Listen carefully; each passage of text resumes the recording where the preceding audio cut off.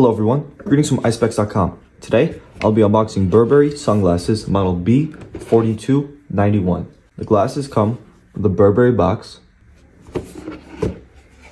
Inside, you have a Burberry booklet and a Burberry cleaning cloth and the Burberry case. Inside the case is the Burberry sunglasses.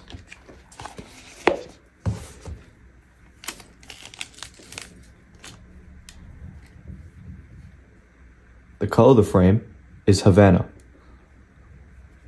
And these glasses are a shield shape.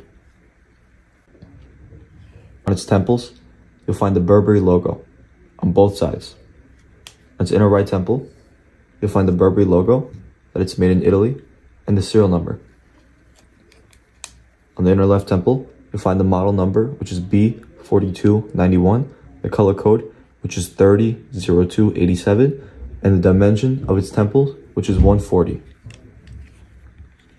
Thank you for watching, and have a joyful day.